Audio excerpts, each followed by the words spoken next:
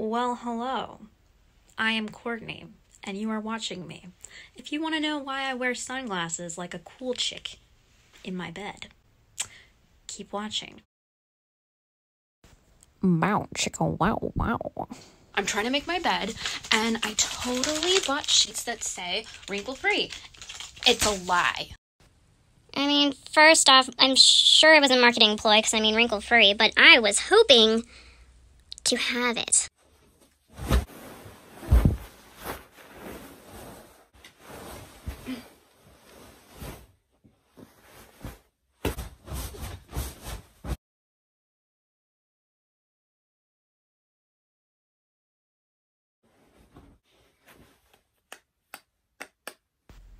Ew, hello.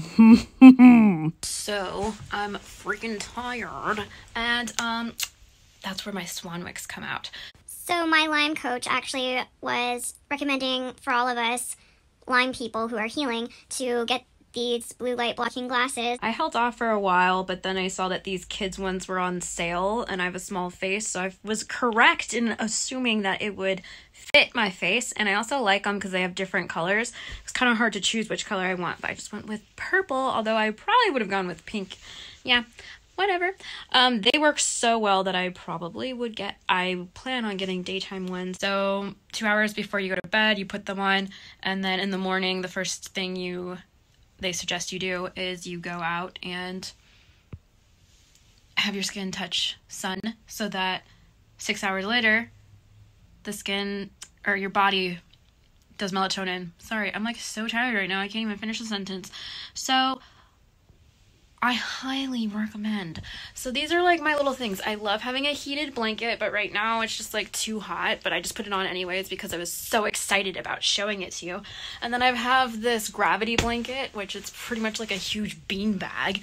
This is me and my gravity blanket. So I actually did get the gravity blanket um, because of my Lyme, I think, because uh, I read it was like I think it popped up on Instagram or something. Instagram is very good at matching me with stuff that I'm actually into, by the way.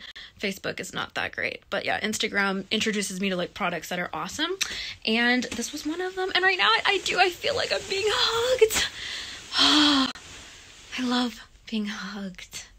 So, by the way, at my new place, there's this camera. It's very creepy. Let me show you.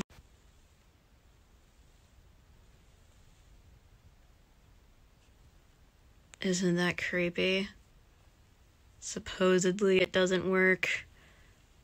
I don't believe them. Now back to me.